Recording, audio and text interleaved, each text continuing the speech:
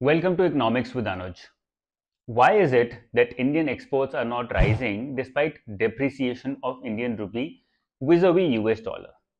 इसके तीन major reasons हैं जिनको समझ लेंगे अगर आप तो आपको पूरा सिनेरियो समझ आ जाएगा let's start point number one high import content of our exports whatever exports we make we require certain raw materials to make it happen these raw materials are often imported from other countries for example, oil, for example, Intel chips.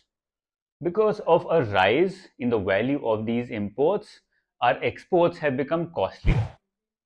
Due to this rise in price of our exports, the value of our exports is not increasing. हमारे exports वहीं stagnation में stuck हो गए हैं. Number two, high global income elasticity. What do we mean when we say high global income elasticity?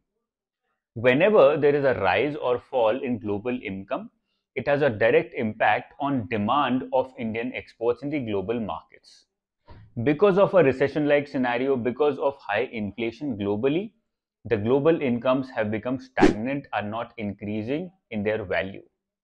Because of this, demand for Indian exports is falling in the global markets. Number three, rupees appreciation against other currencies.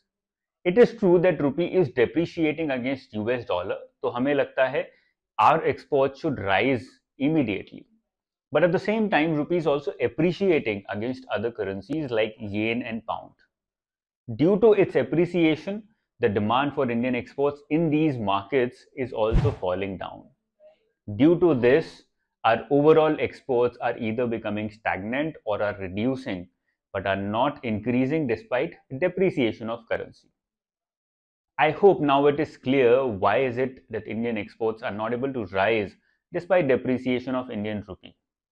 If you like such economic concepts and the way I deal with them, do not forget to subscribe to my channel.